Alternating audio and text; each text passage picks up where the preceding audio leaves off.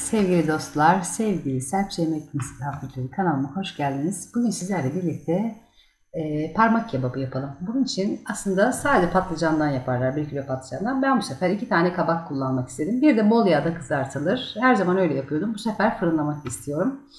E, patlıcanları bir saat tuzlu suda beklettim. Acısı kara suyu çıktı. Ondan sonra onları şöyle çok fazla uzun değilse ortadan ikiye bölüp onları da böyle parmak şeklinde parmak kadar parmak kadar kesiyorum. Aynı şekilde e, kabakları da onlar orantılı bir şekilde biberleri de o şekilde uzun uzun kesiyorum. E, bu şekilde yaptım. Tepsiye yağ kağıda diziyoruz. E, fırınımız 250 derece olacak. E, derin bir kapta şöyle üzerlerine yağ gezdirerek kızaracaklar çünkü fırında da. Güzelce yağ gezdirerek şöyle alt üst ederek her tarafın yağlanmasını sağlıyoruz ve fırın tepsimize dizelim. Ben dizdim isterseniz karışık koyabilirsiniz. Alması rahat olabilirim diye.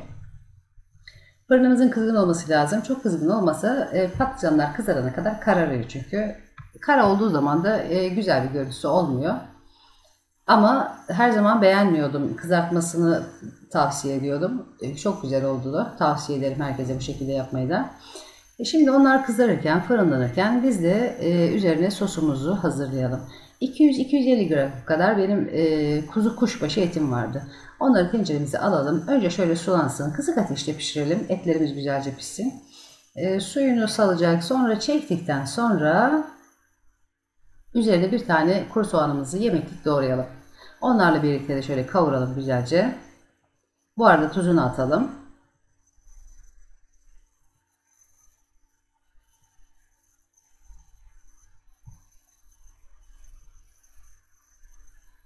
Evet, tuzunu da atalım. E, soğanlarımız çok güzel sararıyor o zaman. Yanma eğilimi göstermeden güzel sararıyorlar. Bir de yemeklerimizi çok fazla hızlı ateşte yapmayalım. O da e, kavrulmayı değil yanmaya döndürüyor. Bir baş kadar e, eskiden kalma bir sarımsağımız çok küçük minik dişleri vardı. Bir baş sarımsak oraya attım ben. E, bilginiz olsun. E, bir tane de kırmızı biber doğradım. O da çok güzel oluyor. Yeşil biber doğramadım çünkü yemeğin içinde yeşil biber var diye. Kahvaltıdan iki parça biberim kalmış onları görüyorsunuz. Ne onlar derseniz biraz karabiberini, biraz pul biberini ilave edelim. Güzelce yine kavurmaya devam edelim. İki tane domatesim vardı. Onları da üzerine kattım. Beraber kavrulsunlar, sulansınlar, rengi gelsin, sosu gelsin yerine. Biraz da salça ilave edelim. Şöyle e, kıvamlı, renklice bir suyumuzu elde edelim yemeğimize. Evet, harika bir şekilde birbirine geçti malzemeler, tadı, lezzeti, görüntüsü hepsi birbirine geçti.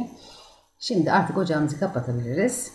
Tepsiye ben bu şekilde aldıktan sonra yuvarlak bir tepsi orası olur. Kenarlarını güzelce böyle diziyoruz. Ortası çukur kalacak. Ortaya koyuyoruz malzememizi. Özelliği bu. Ben eski bir tepsi kullandım. İstediğiniz gibi bir tepsi kullanabilirsiniz ama yuvarlak olursa çok daha güzel oluyor ve rahat oluyor. Daha estetik duruyor. Suyunu da verelim.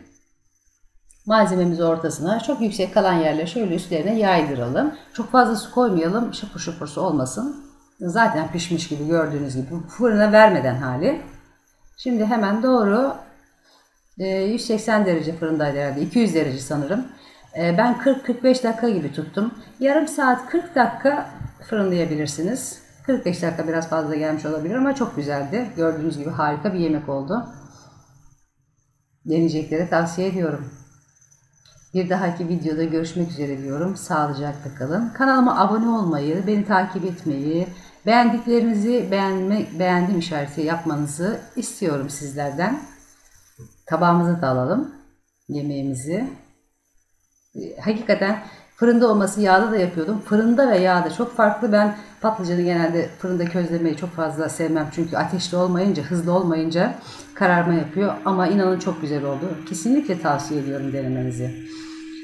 Sağlıcakla kalın, hoşça kalın. Görüşmek üzere diyorum.